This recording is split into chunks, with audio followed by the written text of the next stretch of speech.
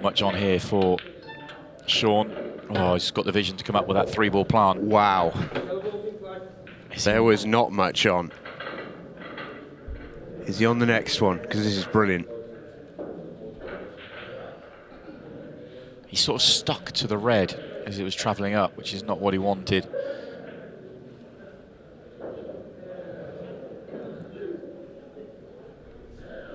Big frame this. This this is the biggest frame of the night so far.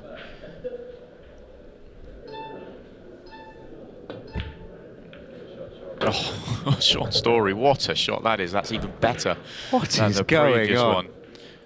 This is absolutely as played. You can see the double doesn't go. That's that's special. That really is special. That's one of the shots of the tournament. Right up there. Absolutely right up there. Wow. And he's got the chance to turn that great shot into a frame on the board. Slightly awkward angle here. I- He can't get up to the top of the table, I don't think. He might have to pick a, a small gap. But there is a window. Is he trying to force something here? Is he going to try and force it through? Oh, he has tried to force a, an angle. He wanted just to slide by the jaw. I think he's on the one to the top left. It's very fortunate if he is. It's very Shaun Storry if he is. Yeah. but you could see Shaun down on that shot, really trying to create an angle that wasn't quite there.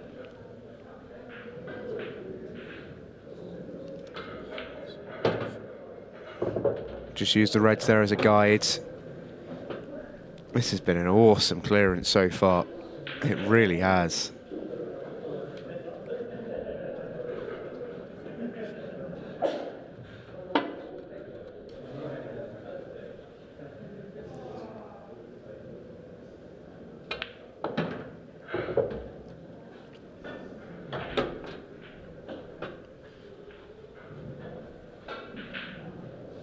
Be brilliant to get to this point One good pot. Eight ball should be simple.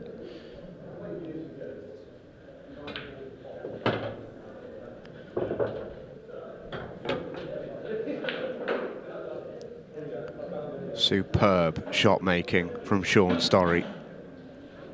Eight ball away from 1 1.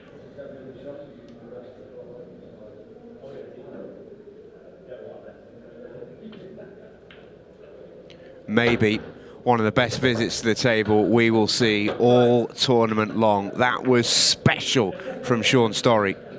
It really was. Two absolutely magical shots. A little bit of fortune on the bump in the middle pocket.